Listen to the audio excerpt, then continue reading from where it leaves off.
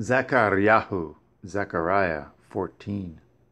Behold, the day of Yahweh comes, and your spoil shall be divided in the midst of you. For I will gathereth all nations against Jerusalem to battle, and the city shall be taken, and the houses rifled, and the women ravished, and half of the city shall go forth into captivity, and the remnant of the people shall not be cut off from the city. Then shall Yahweh go forth and fight against those nations as when he fought in the day of battle.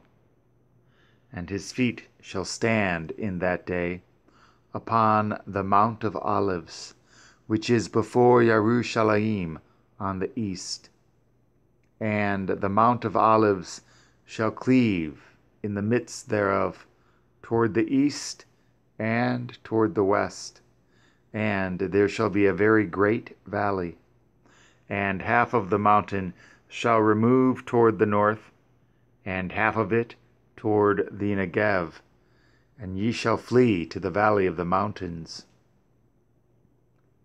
For the valley of the mountains shall reach unto Atsel, rather Atzel. Yea, ye shall flee, like as ye fled from before the earthquake in the days of Uzziyahu, rather Uzziyahu, king of Yahudah, and Yahuwah Elohai shall come, and all the Kodeshim with you.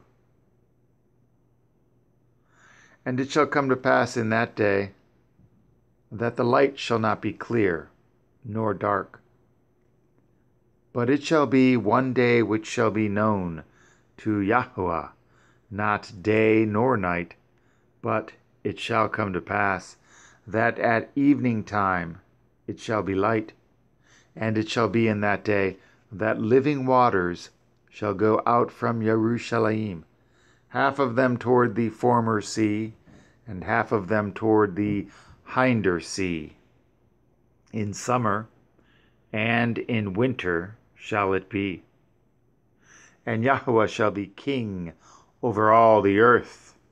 In that day shall there be one Yahweh, and his name one. All the land shall be turned as a plain from Givah to Rimmon, south of Jerusalem and it shall be lifted up and inhabited in her place. From Benjamin's gate unto the place of the first gate, unto the corner gate, and from the tower of Hananel unto the king's wine presses. And men shall dwell in it, and there shall be no more utter destruction, but Jerusalem shall be safely inhabited.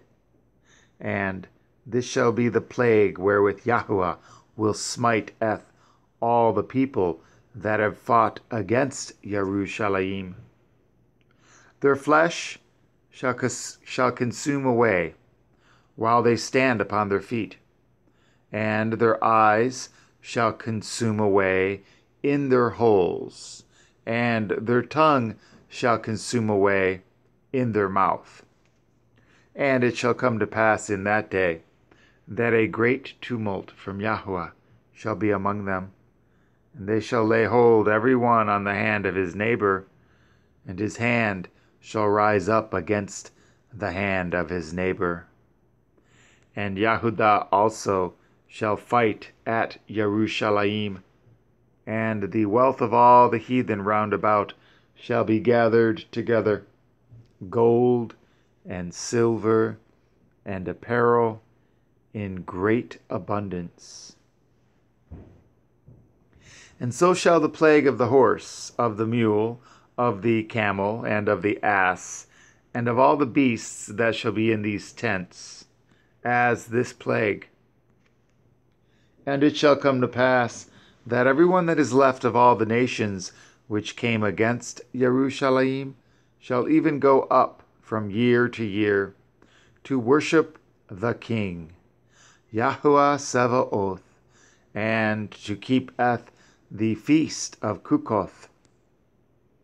And it shall be that whoso will not come up of all the families of the earth unto Jerusalem to worship the King, Yahuwah Sevaoth, even upon them shall be no rain. And if the family of the Mitzrayim go not up, and come not, that have no rain, there shall be the plague, wherewith Yahuwah will smite eth the heathen that come not up, to keep eth the feast of Sukkoth. This shall be the punishment of Mitzrayim, and the punishment of all nations that come not up to keep eth the feast of Sukkoth. In that day shall there be upon the bells of the horses holiness unto Yahuwah, and the pots in Yahuwah's house shall be like the bowls before the altar. Yea, every pot in Jerusalem and in Yahudah shall be holiness unto Yahuwah Sevaoth. And all they that sacrifice shall come and take of them and seethe therein. And in that day there shall be no more the Canaani in the house of Yahuwah Sabaoth.